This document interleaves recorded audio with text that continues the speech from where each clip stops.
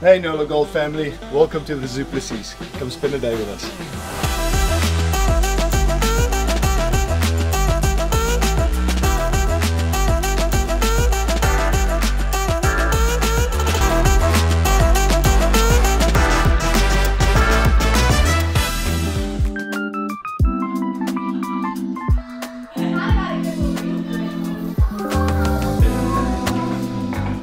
Guys, so first thing we do in this uh, household is we make a nice cup of coffee. So first you want to like let the milk come in, not too much, and then you go closer.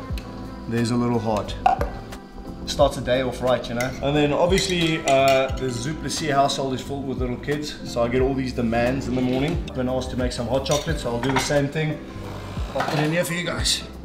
Can you make it hot? Let's see. That's a bit of a hot. No, that looks like a leaf. Ah, give it, a, give it a shot, I guess. So I was with San Diego uh, 2018, 2019 and 2020. And uh, I played with him for the three years and after that um, I kind of uh, was looking for a new opportunity. It's at that point that Ryan Fitzgerald reached out to me and uh, anyone that knows Fitzy knows uh, he's a great salesman and he's also uh, a great guy. So yeah, so he convinced me to come here and uh, didn't take much convincing because obviously, um, you know, I love Nola Gold, playing against them, I love their style of rugby. Um, coming to New Orleans, I loved it, so that got me here. I ended up signing for four years at the time, um, which was a big blessing for our family. First day we arrived at our house, there was a king cake uh, at the front door, and that was special um, for, for myself and my family and kids immediately loved it and felt at home um, which was something that was really special for me but his family's happy he's happy um, and if he's happy at training he performs. So it all goes hand in hand.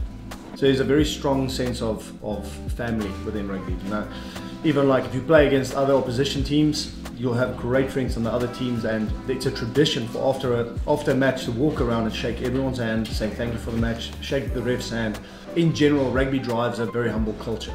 Well guys now that you've had great breakfast great coffee uh, we're all filled up we're ready for the gym come with me. Okay jump in. Jump in. They all go to the back. Jump into the back Luke. Where's Maddie?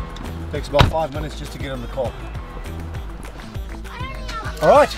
See you at the gym.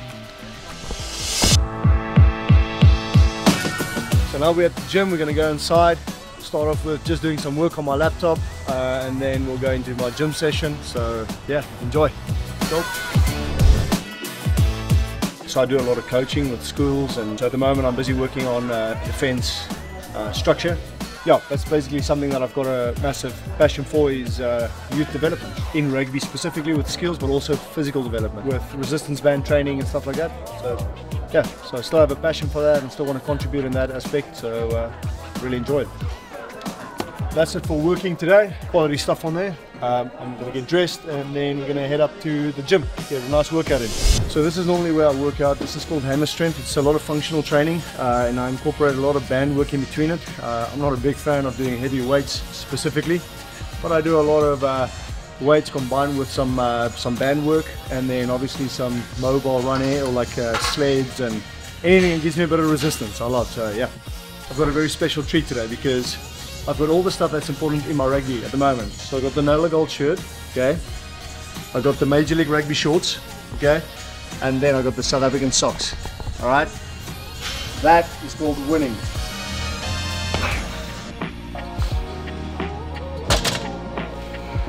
We just finished our workout and working a little were bit. at a movie and. The kids were watching a movie and hang out, so now we're gonna go to our clubhouse where we can swim and the kids are gonna train a little bit. I'm gonna train and then, yeah, follow me.